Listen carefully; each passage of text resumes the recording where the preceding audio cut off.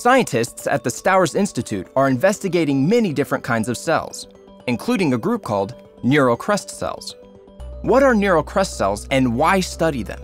These cells form in a vertebrate embryo's brain and spinal cord, migrate over long distances, and eventually mature into a variety of cell types.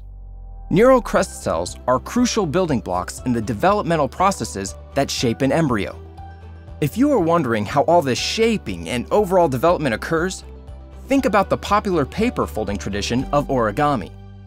So initially the embryo starts as three flat sheets or layers of cells. And in the same way that you fold sheets of paper and you bend them uh, and shape them to produce an animal that you might recognize as a frog, uh, the same bending and shaping and folding of these sheets of, of cells uh, give rise to what we recognize as a human embryo and then ultimately the adult form. Since basic biological processes are nearly the same in all living organisms, findings made in model systems, such as mice or fish, can shed light on mechanisms responsible for diseases in humans. Neural crest cells are one of the fundamental building blocks of, of vertebrate embryos. Um, so they're born within about the first month of, of human gestation and they're a migratory cell population. So in the head, they're going to move from the back of the head right out to the periphery of the of the face, and they'll make most of the bones and, and cartilages of the face and skull. And then in the trunk, they'll also uh, migrate an incredibly long distance into the gastrointestinal tract. If there's a problem with neural crest cell formation or migration or their maturation, then this can lead to conditions or disorders that we collectively call neurocrestopathies. Within the head region, if there's a failure of neural crest cells to form properly, then this can lead to conditions such as Treacher-Collins syndrome.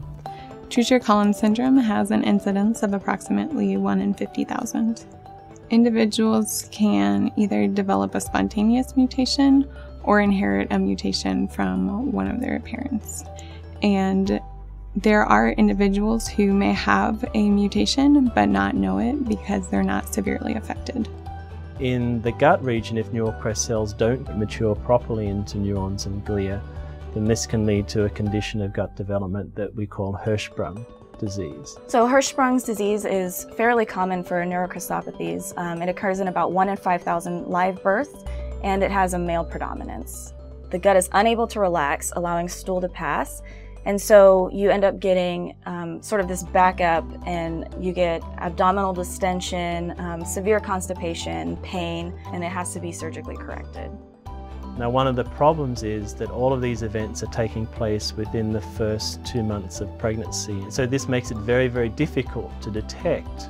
Our lab uses both mouse and zebrafish models to study the three genes involved in Treacher-Collins syndrome. This movie shows the neural crest cells, which are migrating in green, and they're going to migrate and populate the head of the zebrafish. So I can use this movie to understand the normal pattern of neural crest cell migration. Specifically, I'm looking at vitamin A metabolism and how this can be tied into Hirschsprung's disease. So we take in vitamin A into our diets and it's metabolized to the active form retinoic acid. And what we found so far is that retinoic acid is important early in development before neural crest cells have actually entered into the foregut. And so what we think is that this retinoic acid signal is somehow important into telling neural crest cells where to go and when to go and how to get there. So one of the reasons this project is so exciting is that it has this ability to maybe um, revolutionize the way that we look at human births. You can kind of give the analogy to folic acid, which is the poster child um, for scientific research in this regard.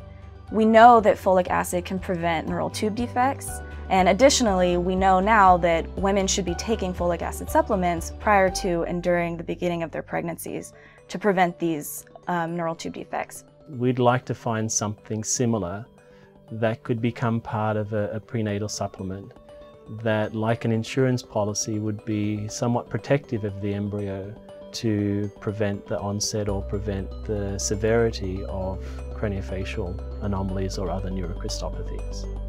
Figuring out how neural crest cells contribute to these disabling disorders keeps Paul Trainor and his team busy in the lab.